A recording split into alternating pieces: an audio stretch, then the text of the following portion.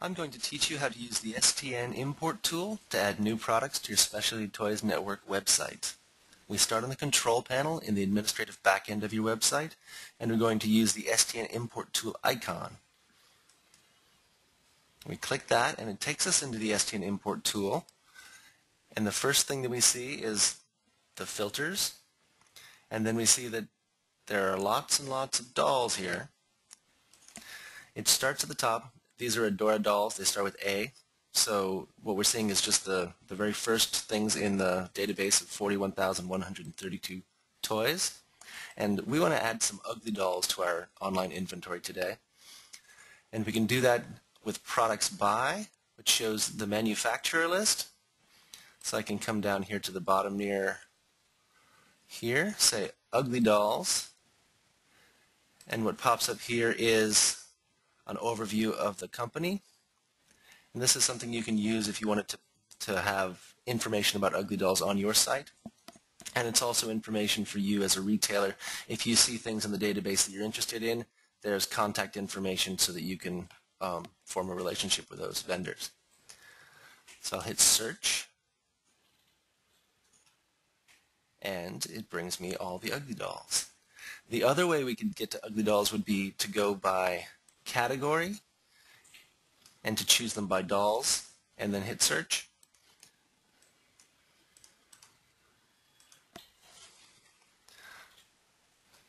I'm looking at the product information for the ugly dolls. First one is wage. He's the very first ugly doll. And the status column at the end, the check marks show that these are already in my online inventory, and the X's mean that they're not. So I'm looking, I can look by picture, I can look by SKU. The SKU is the leftmost. And these are the these are our SKUs in our database, and so they have a prefix for the manufacturer, and then they have the manufacturer's item number. Then there's the name, so you can search by name. This is the category they're going in, manufacturer, of course, and Ugly Dolls was kind enough to provide us with UPCs, so we can go by UPC if we want to.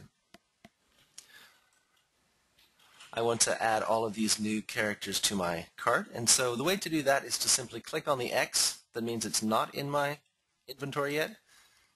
And it just now is importing it.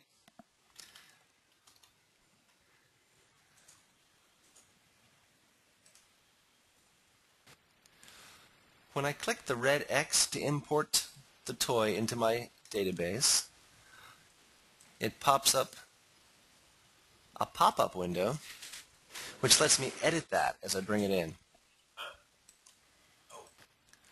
The pop-up window that pops up allows me to edit all of the attributes for the thing that I just imported. So I'm going to maximize the window.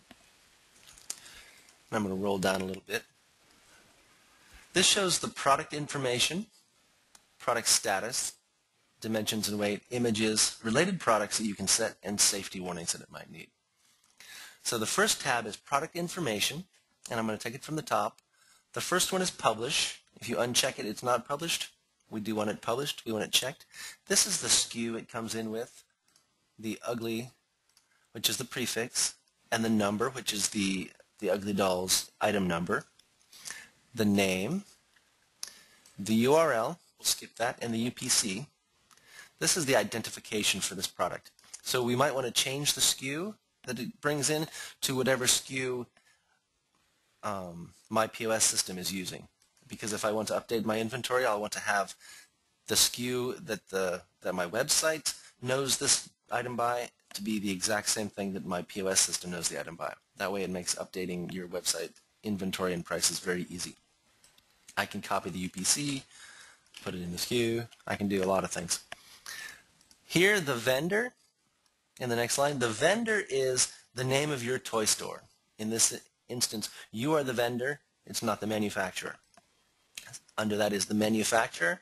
It comes in already. This is an ugly doll. Um, ugly dolls is the manufacturer.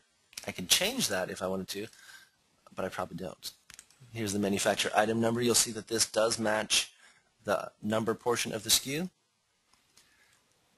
And here there's the category that it's in. It's in puppets and plush. And by holding down the control I can put it into action figures, active play, arts and crafts, bathtub toys.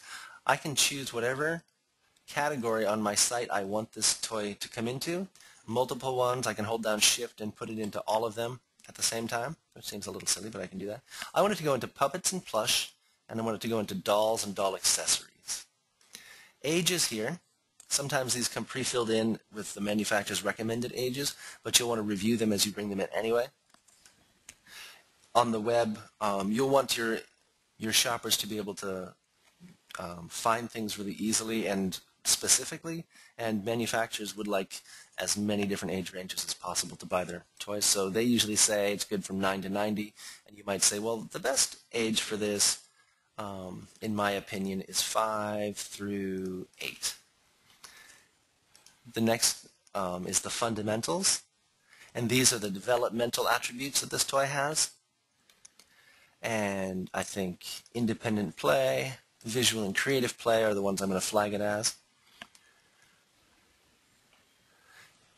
On the next column is product price. This is the manufacturer's recommended price, $19.99. I'm going to call it $20 even because that's what I want. The product gross is the tax added to the price. Product price net is what you'll want to change if you're changing your price the ID is the tax ID that's assigned to it, and you'll set your tax IDs elsewhere. Discount type. There are different kinds of discounts that you can apply to this, and we'll go over them in another training session. The discount price. You can override the discount settings and set your special discounted price. Like if I want to bring this in and put them on sale at $15, I'll type that into the discounted price field. Here's the short description. The short description, not all products have them, but you would want to have a short description for your product. This is what Google sees when people are looking for Trey, the ugly doll. You can add to it. It can only be text, and it can only be 255 characters long. Add gift wrapping. I could disable the tax here, and I can set a shipping override if I have a percentage of the sale price that's set um, in my shipping calculator, I can set a different um, shipping value for this toy. So I can say, oh, I'm going to ship him for free as part of the promotion. He's going to be a discounted price. Ship him for free. I'm going to sell lots of these. Down below is the product description. This is the long description.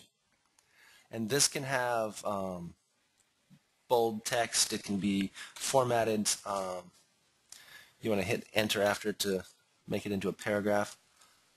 Um, you can add images if you want. This is the same editor you'll use to make your web pages, and we can talk about that um, when we're talking about how you create web pages. The product status is the currently in the the amount he's currently have in stock. Dimensions and weight. Looks like he came in at 14 inches. Um, there are no good dimensions and weight for this, so if I was using a shipping calculator that needed that, I would have to set them myself here. He's not a downloadable product. He's not an MP3 or a video or something like that, so I wouldn't check that. Product images, these are the images that come in with him. This is the large image. This is the small thumbnail. I like those. Those are fine. I can set related products in the related products tab, and this looks at all the other toys that are in my cart, and I can choose them and add them here. And these are the safety warnings that I can set for this character. He doesn't need them, um, so I'm just going to say save, and that saves the changes I've made to him in my cart, and I'm going to close the pop-up window. And now I'm back here where I can import some more. And we're going to pause this right now because we need to.